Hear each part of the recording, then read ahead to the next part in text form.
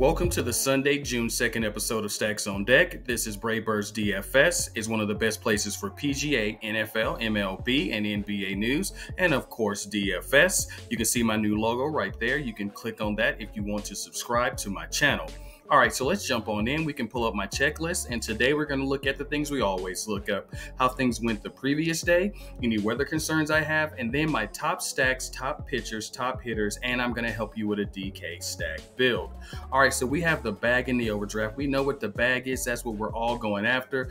And you had a mega game, something that I really haven't seen often. The A's played the Braves in Atlanta, and they combined for 20 runs, and the winning GPP lineup, I think, had like seven you know, players from this matchup. So if you somehow, you know, figured that the A's, the Oakland A's were going to, you know, take it to the Braves best pitcher, man, well, you earned that money. That matchup was golden. And then you have Valdez, who got 37 fantasy points. But then you have the overdraft. The Guardians only got three runs. I was really high on them. Same with the Tigers and Sale. I mean, I did not see this coming. I don't know who saw the best pitcher for the Braves, one of the best pitchers in baseball, just getting railroaded by the A's. So if you put the if you put Sale in your lineup at that high salary, it was kind of game over for you. That's it is what it is. That's DFS for you.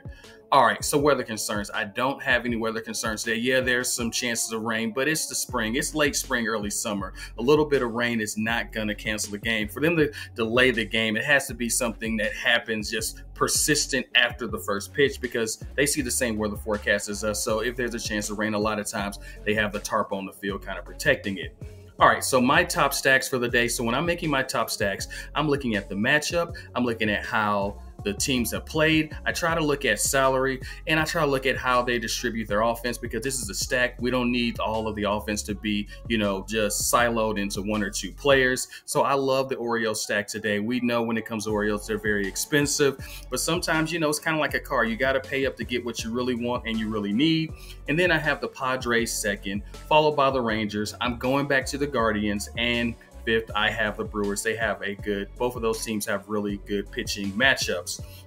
So my top pitchers, yes, I have the most expensive pitcher again on the slate, Peralta. Uh, then I have Bassitt and Irvin. They both have pretty good matchups, and if you want to save some salary, I like both of them at 8,200 and 7,600 respectively.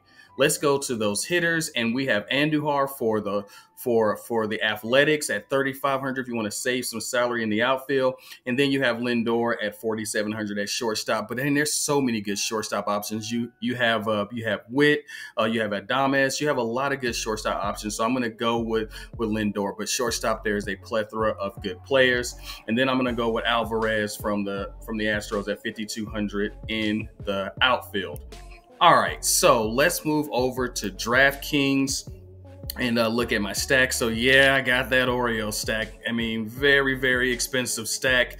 We have Mountcastle, eight home runs on the year, had multi-hit games in three out of the last four games, including coming off of a two home run game. You have Westburg, nine home runs on the year, multi-hit games in three out of the last five games, including two home runs out of the last five games and a home run last game. You have Henderson, 18 home runs on the year. Good grief. Uh, four game hitting streak, including a home run three games ago. And you have Santander, 10 home runs on the year, back to back multi hit games, hits in four of the last five games, and a home run in the last game. I mean, I don't know what to say. I mean, the Orioles are just a good stack. You're going to have to make some decisions. Maybe you put some of those value pitchers that I recommended in there and, you know, just search for some good one off players to, you know, help your lineup. All right, that's my little quick show. We have an early slate, so I want to get this out. If you have any comments, leave them. But otherwise, go out there and win that guap.